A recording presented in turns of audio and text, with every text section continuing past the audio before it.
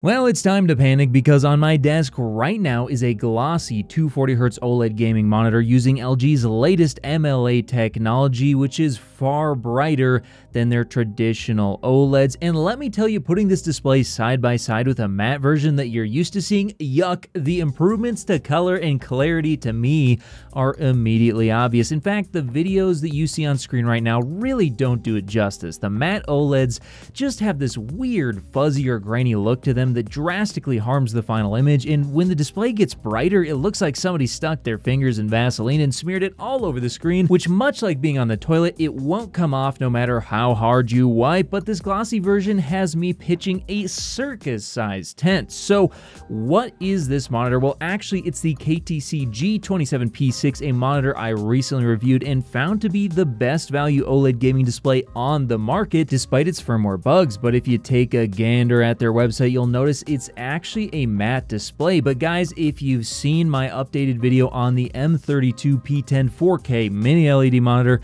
you'll know I've developed a method to buff out these finishes with relative ease, and I've only been getting better, harder, and faster by the day. The monitor in front of you now is the second victim of my buffing escapades, and while it's not quite as clear as the other monitors I've done since, leading to unfortunately no improvements to the brightness, it's still a massive improvement to the overall image quality, at least in my opinion. Now, if you haven't seen my previous video, I've been using this plastic scratch remover called Novus to buff out these monitors, and my current method involves using the heavy and light scratch removers followed by some 3M ultra fine machine polish using a polisher, which leads to a finish which is not only glossy, but has only tiny scratches in the display, which I can only find when shining a strong light on the screen. A massive improvement over the blurry, scratchy mess of a matte finish, which not only diffuses reflections, but to an extent the image coming out as well. Now, if you want to learn more about this sort of thing, I do highly suggest joining my Discord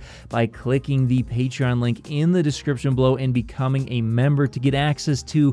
all my display profiles and help when I can give it, but also, I do tend to offload my review displays there as well, which will include a number of glossy options I've created going forward. But for now, let me know in the comments whether you would be interested in buying a glossy monitor because I know I would, considering the massive improvements to clarity, color, vibrancy, and in some cases brightness and contrast as well. As you can see the M32P10 here, I did do an ultra fine machine polish on this one as well to improve it even further, and now I'm actually measuring it to be around 17% brighter in the full screen and 10% windows, which is an absolutely massive increase in brightness, and in fact, even the contrast is now measuring as 4% better than it was with the matte finish, and that's not even to mention the insane improvements to the clarity and color, at least in my opinion, to these displays. Whether you're looking to connect a new console, gaming PC, or just need a fast and reliable HDMI cable to connect over long distances, Ruipro has you covered with their certified 8K HDMI 2.1 fiber optic cable available in sizes of up to 50 feet speed and can deliver a perfect full 48 gigabits per second connection over distances other cables could only dream of reaching. And with 48 gigabits per second of bandwidth, it can easily drive 8K 60 FPS or 4K 144 FPS 10-bit HDR video through its ultra-thin, flexible, and durable housing, and it even supports ER. So if you're in the market for a cable that can drive a beautiful new TV or monitor, be sure to check out Ruipro on Amazon today.